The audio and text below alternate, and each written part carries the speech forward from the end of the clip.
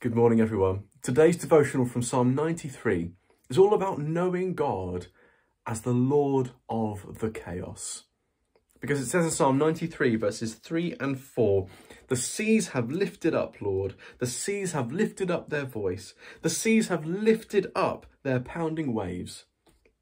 Mightier than the thunder of the great waters, mightier than the breakers of the sea, the Lord on high is mighty. Now, brief history lesson. In ancient Jewish thought, the sea was a symbol of chaos.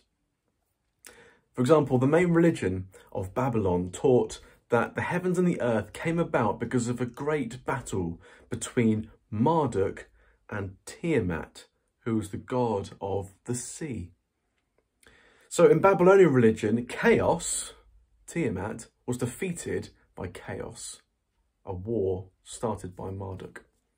But in Genesis 1.21, we read of God creating the great creatures of the sea, and the Hebrew for that also implies chaos monsters, such as dragons, serpents, and sea monsters. So this shows how chaos is never out of God's hands and is illustrated by the sea. You see, God rules over evil, and this is often demonstrated in the Bible through miracles involving the sea.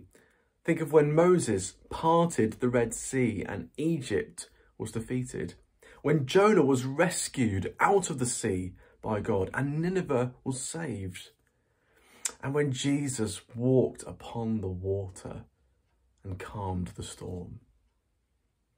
Throughout the whole Bible, chaos is in God's hands. And in this little psalm, not only is it in God's hands, but the seas of chaos actually turn towards God to worship him and submit to him. All of its power is nothing compared to God. So, whatever chaos you are going through today, think of the sea, the historical symbol of chaos with all of its power and vastness. But then all of that submits to God.